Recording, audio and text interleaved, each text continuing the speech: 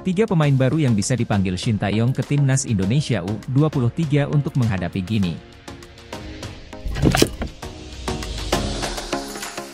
Timnas Indonesia U23 dipastikan tanpa kehadiran Rizky Ridho dan Justin Hubner saat menghadapi Gini pada laga playoff Olimpiade Paris 2023. Gini akan menjadi lawan timnas Indonesia U23 usai dikalahkan Irak pada perebutan peringkat ketiga Piala Asia U23.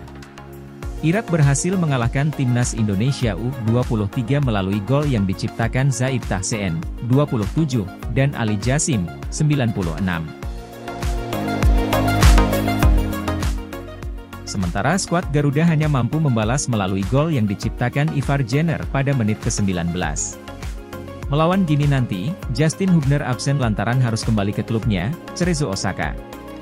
Hal tersebut dikonfirmasi langsung oleh Ketua Badan Tim Nasional, BTN, Sumarji saat ditanya soal kabar Justin Hubner absen. Justin Hubner langsung kembali ke klubnya, Cerezo Osaka, setelah pertandingan semalam, ujar Sumardi, Jumat 4 Mei. Bukan hanya Justin Hubner, ST pun dipusingkan dengan tidak bisa bermainnya Rizky Ridho pada laga nanti. Pasalnya, Rizky Ridho masih menerima hukuman setelah mendapat kartu merah pada laga semifinal kontra Uzbekistan. Kartu merah tersebut membuat Rizky Ridho harus absen dalam dua pertandingan Garuda Muda.